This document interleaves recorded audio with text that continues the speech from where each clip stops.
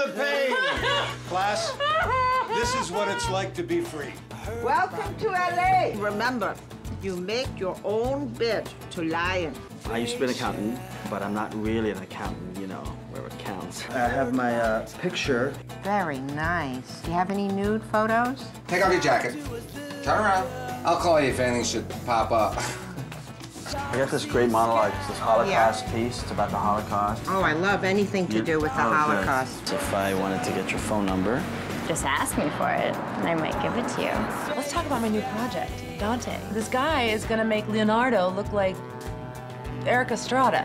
You know, Erik Estrada did not have me as an agent, or else he would have been Leonardo. After this movie opens, you, my friend, your life is going to change. Darren, isn't it? Nobody likes you.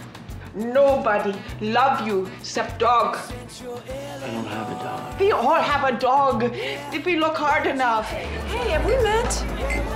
I never forget a face. I don't think so. What are you drinking? You were supposed to come over. I stayed awake till four in the morning. Yeah, stayed at work really late.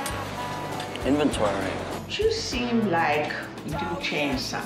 I'm not sure that I like this. Don't do any of those porno movies, you know, those extra types on the way up. Uh, darling, may I have the cranberry, please? Did you hear him? You have no manners. Hollywood is changing you. Don't come near the side of the bar again, greaseball. Be true or you will be fooled. Well, Dante, have what it takes to be the next Hollywood it boy. Oh my God, that's him. That's him. Get get the camera. Dante! Oh So everyone thinks that Darren is his new star. Watch your back in there, kid. Only when they go to see the movie, they find out it's not him. It's the guy who Sometimes things just fall into place. Was he a good kisser? Yes, but my boys are better. Someday when I'm rich and famous, I won't know what my own name is. Track me down, please come remind me.